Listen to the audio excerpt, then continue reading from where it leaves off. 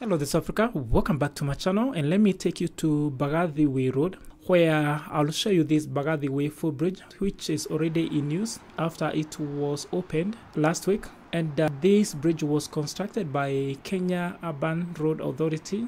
And uh, this is part of the planned network of footbridges that are going to be constructed along Mbagathi Road like this one and also Ngong Road and Langata Road and this is a trace to make sure that uh, it is easier and safer for pedestrians whenever they are crossing the road. Remember, these roads are reported by NTSA to have a high number of pedestrian fatalities. So this is going to be very helpful, but I was shocked to see that uh, people are still not using the footbridge. So this footbridge is a little bit different from the ones that uh, we have covered, especially the one on Thika Road because uh, you can see this footbridge do have spiral design on both ends something that uh, is completely different from uh, the Thika Road footbridge so uh, I will update you on anything that is happening.